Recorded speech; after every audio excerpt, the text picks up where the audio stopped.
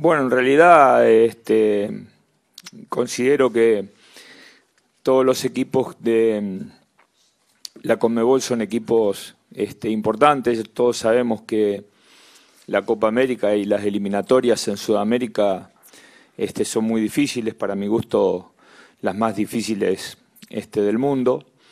Y evidentemente enfrentar a Ecuador, ahora con la presencia de Bolillo, que seguramente con su gran trayectoria ya le está dando forma a su idea y a su equipo, este, es muy importante porque además es el último partido, tanto para Ecuador como para nosotros, antes de enfrentar nuestras respectivas este, competencias.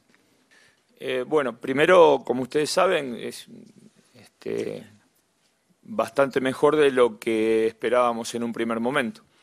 Este, trabajando bien con el cuerpo médico eh, y los pasos a seguir son, primero, esperar hasta el día anterior a la competencia, al inicio de la competencia para nosotros, porque es lo que nos permite el reglamento, para decidir su situación y la de Uriel Antuna.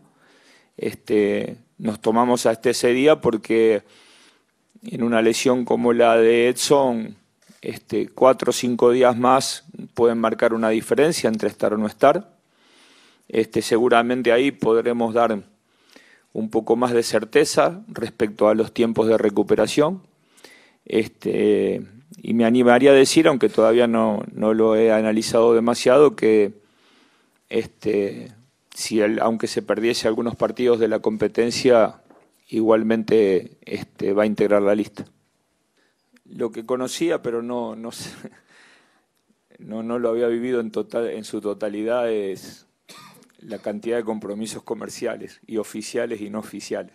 Eso, si bien lo conocía o estaba al tanto, vivirlo es una cosa y no y este y conocerlo es una cosa de boca y vivirlo es otra distinta. Pero nos vamos acostumbrando. Eh, después me preguntó. No, a ver, yo creo que a veces hay entrenadores que le toca llegar a una selección y confirmar procesos es decir, que el recambio lo produjo el entrenador anterior.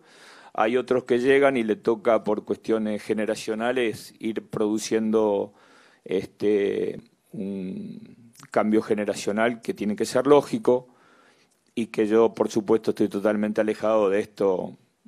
Se tienen que ir todos y tienen que ser todos nuevos. Esto es algo paulatino, donde el equipo siga siendo siempre confiable y además yo no soy de los que ni descarto a un chico de 18 que pueda estar en la selección mayor, ni considero a uno de 35 que esté viejo para la selección. Yo creo que la selección se maneja en la mayoría de los casos por actualidad y en la selección se necesitan respuestas a mediano, a corto y a largo plazo y en eso estamos. En el corto plazo tener una selección que sea confiable, que tenga un estilo de juego este, que sea fácil de reconocer, que nos conforme a nosotros, con el cual nos sintamos bien, porque creo que ese, esa meta a corto plazo es la que nos va a permitir de llevarla bien adelante este, la meta que nos queda a mucho más largo plazo, que es lo que pueda pasar con el equipo en el Mundial. Así que fundamentalmente eso hoy. ¿eh? Eh, y por supuesto ganar cada partido que nos toque jugar. Las lesiones son parte de, lo que puede pasar. Nadie lo desea, a veces la casualidad. Mira, con lo que pasó con Edson es suficiente, ¿no? Eh, eh, las lesiones de distensión de ligamentos, si, si, bien no son extrañas en el fútbol, no son comunes, no son de todos los días. Que un jugador que se tuvo una distensión de ligamento y en el primer partido que aparece reaparece después de la recuperación, se vuelve a hacer una distensión del ligamento, es muy raro. Así que a veces las casualidades van sucediendo. Y a mí, como lo dije la otra vez, este, me ha tocado jugar en este estadio, México-Argentina justamente, y la cancha no estaba del todo buena, no estaba para nada buena. Y tengo la certeza, todavía no he ido, pero que mañana va a estar este, muy buena.